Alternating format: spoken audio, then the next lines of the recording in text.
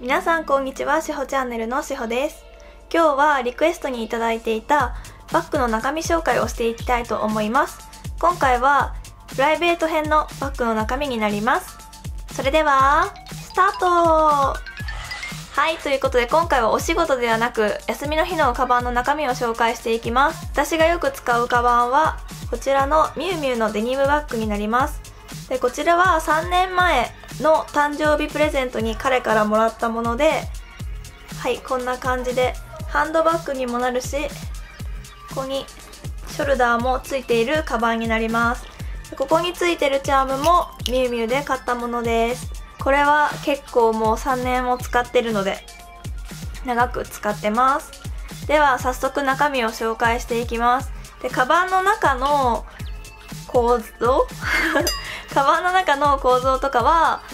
カバンの中身が全部なくなってから最後にちょっと見せたいなと思います。このバッグなんですけど両サイドに4つポケットがあるのでその小さいポケットの中身から紹介したいと思います。小さいポッケにティッシュとマスクを折りたたんだやつが入れてあって反対側にはウェットティッシュとミンティアが入ってます。で今見たらもう一個。です。もう一個マスクが入ってました。サイドのポッケにこのビトンのキーケースというかコインケースにキーをつけれるやつを入れてます。このミュウミュウの巾着袋です。この中にアクセサリーを入れていてはい急いで家を出た時に付け忘れがあったりするのでこれを持ち歩いて外でつけたりすることもあります。メインのとこに入ってるものを紹介していきたいと思います。まず1つ目ハンカチ。これはラルフローレンのハンカチかな？はいラルフローレンのハンカチ。ポーチ。ポーチは以前ポーチの中身紹介で紹介したんですけどこの間ちょっとなんか入ってなくて紹介し忘れたんですがこういう香水のアトマイザーとかネイルオイルも入れるようにしてます。でこの香水のアトマイザーは今回はバルマンの香水を入れてるんですけどいろんなアトマイザーに分けていてその時の気分によって香水は変えるようにしています。リップはちなみに今日はボリュプテシャインの12番を使ってます。そして次こちらこちらもミュウミュウの 巾着なんですけどこの中にガジェット系を入れています。まずこちらのデジカメを入れています。これはもうほぼインスタ用とか自撮り用で使ってるカメラです。あとはこちらアンカーの充電器を入れています。これは2回分ぐらいしか充電できないと思うんですけどちょっともっと長くなるときは5回分できる大きい充電器を持ち歩く時もあります。充電器の挿すやつ？と 充電のコードそれからデジカメとかの充電がなくなる時もあるので一応念のためこの Android とかに使える用の充電器のコードを持ち歩いてますあとはこちらイヤホンを持ち歩いてますこれはエレコムの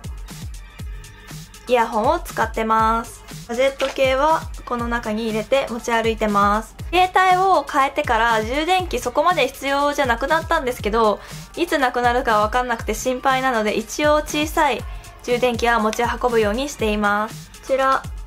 お財布は変わらず今は折りたたみのプラダのお財布を使っています。最後こちらの iPhone8 の携帯を入れています。この間の100均の動画のガールズトレンド研究所とのコラボの商品のケースとこっちにフィルムもつけていてここにリングをつけて私は使っています。私はちょっとリングがないともう落とすのが怖くてはいこれがないとちょっと心配なのでつけています。はいということでカバンの中が空になりました。で中を紹介するとここがメインになっていてここに小さいポッケとチャックがついたポッケがついていてこれがこっち側も反対のこっちにもあってポッケの数がすごく多いので私はこのバッグすごく使いやすくて結構使っています。前の動画でも言ったと思うんですけど本当に荷物を少なくしたいのでだいたいこれぐらいのバッグかこれよりももっと小さいバッグで出かけることが多いです。今回は別に書き物とか必要ないので持ち歩かなかったんですけどこういうノートとかスケジュール帳を持ち歩くこともあります。これは100均のノートでこれは無印のスケジュール帳に一応本当携帯にもメモしてあるんですけど一応必要最低限なことだけはこちらにも書くようにしていてペンも無印のこすって消せるボールペンをピンクと黒を使ってます。はいということで今回は私のプライベートのカバンの中身を紹介しました。多分人より少ないのかな？どうなんだろう？あんまりお直しを持ち歩かないっていうのが私のカバンの特徴かもしれないんですけどその分中身が結構少なかったり本当に必要最低限しか持ち歩かないようにしています。他にもカバンを紹介してほしいっていうリクエストもあったのでそちらも答えて動画撮っていきたいと思っています。ということで今日も見ていただきありがとうございました。今回の動画が少しでもいいと思ってくれたら高評価ボタン、チャンネル登録もよろしくお願いします。それでは、